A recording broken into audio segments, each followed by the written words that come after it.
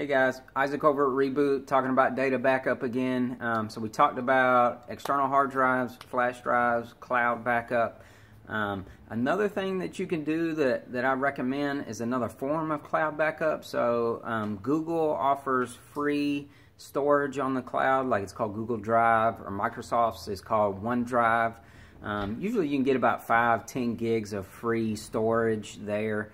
Um, you can install it on your computer, so anytime you drop a file or a folder in that, like Google Drive folder or OneDrive folder, um, then it automatically goes to the cloud. So then you can access that data from any computer. You know, you just have to log into your little account.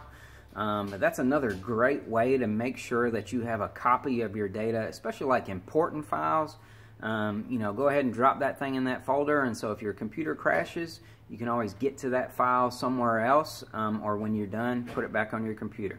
So guys, remember, data backup, data backup.